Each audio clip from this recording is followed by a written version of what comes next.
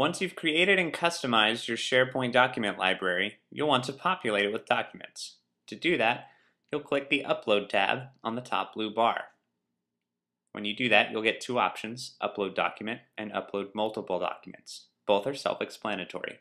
But if you click Upload Document and need to open multiple files, you can simply click the Upload Multiple Files button on your right. That'll take you to this page, which allows you to explore every file on your desktop and then choose which ones you want. I happen to want these marketing documents here. I can simply click one or two or three of them or select all. When you're ready, click OK. And I'll click Yes since these are the documents I want. And here they are in Test Library A. Now I want to highlight Marketing 1 and click the down arrow because I want to edit the properties of this document.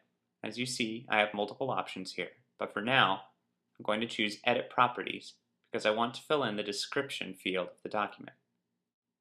You'll see a couple of options here. One is the title. The title will defaultly reflect the name of the document unless I assign a new title for it. I don't want to now, I just want to write a description. So I'll fill in the description field, which is required. It's required because of the red asterisk next to it. So I'm ready, and I'll click OK, and as you can see, the description is next to Marketing 1. That's how you upload documents to SharePoint. Learn more at blog.praecipio.com.